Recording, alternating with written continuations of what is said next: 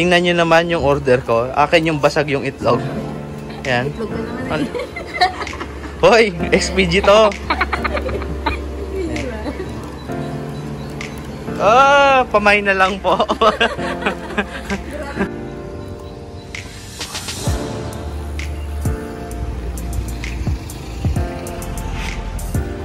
so, good morning guys. Andito kami ngayon sa ah, Marikina River Park para itry yung isa sa pinagpipilahan na ah, kainan, yung hardin ni Lola. So, kung makikita niyo sa baba, andyan yung orders namin. Bakit na ba? Tadaan! Thank you ate. After ilang years? so, umorder kami ng tatlong tapsilog.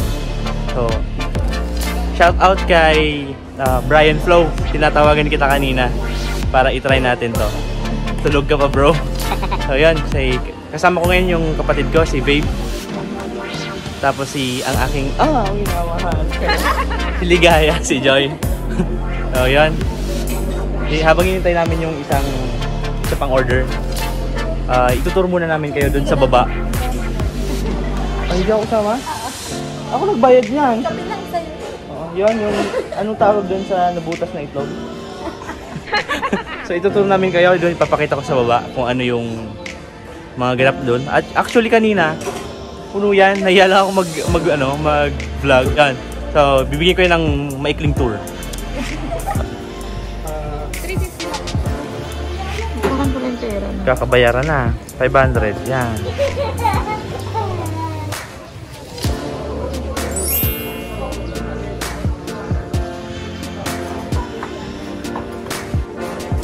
So yan po, pumunta kami ng Marikina River Park para kumain.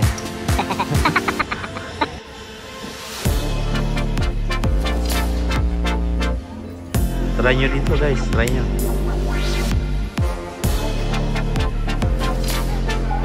So yan, yan, yan. Ang ganda, no? So yan, habang nagkakanya-kanya kami, tingnan nyo naman yung order ko. Akin yung basag yung itlog. Yan. Eh. Hoy, SPG to. Ah, pamay na lang po. pamay na lang po. May nagmamay-ari na. Bawal na. pamay na lang po. Diyan. Ito available na ka-reserve. Namay na po, namay na.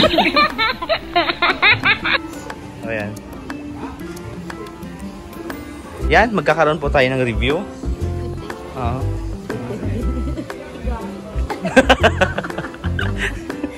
Ang bilis eh.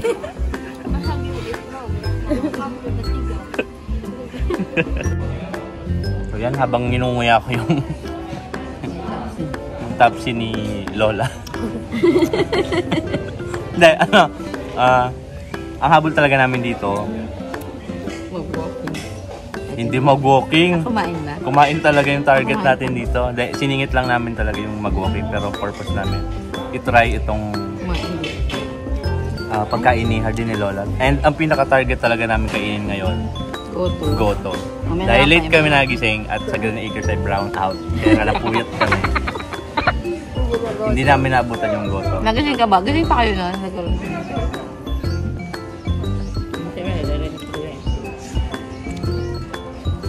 Ang hirap para kumain na nagbablog, ano? Chat ka.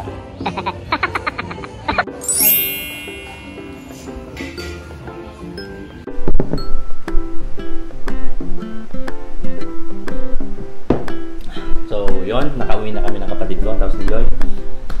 Magbibigay lang ako ng ano, ng feedback dun sa food. Ah, yes, medyo matigas yung tawag dito, yung meat and ang maganda doon kinausap kami ng staff. Ang sabi ng staff, "Sir, kamusta yung ano, yung taste ng food?" Ah, yun, sinabi ko yung totoo kasi yun yung na-experience namin and nung kapatid ko si Babe. So, medyo matigas nga yung meat and ang maganda naman sa staff, sabi niya, ah, yes sir, noted sir, medyo ah, baka kulang sa pukpok yung meat para mas malambot daw. So, thank you rin daw sa feedback kasi for improvement ng food nila. So, yun ang isang magandang character nung staff kasi nagtatanong sila para mas may improve pa nila yung food nila, yung tapsilog. Yung target talaga namin na tikman doon, yung goto nila, hindi kami nagtagumpay kasi late kami nagising nga, banggit namin doon sa ah, sa video. So, siguro baka kasama ko next sa next video si Brian Flo para i-try namin yung goto na pinipilahan talaga. So, yun. Yun sa muna sa ngayon. Thank you for watching. So, uh, follow nyo pala yung Beds Moto Supply. Meron page. Tapos sa Shopee. Ah, kung meron kayong kilala na owner ng Honda Click and NMAX Aerox, uh, please i-refer nyo sa amin. Malaking bagay yun para tuloy-tuloy yung ah, business. Yun, kung narinig niya yung kapatid ko, nagpa-packing ulit. So, sa ngayon, yun muna. Thank you.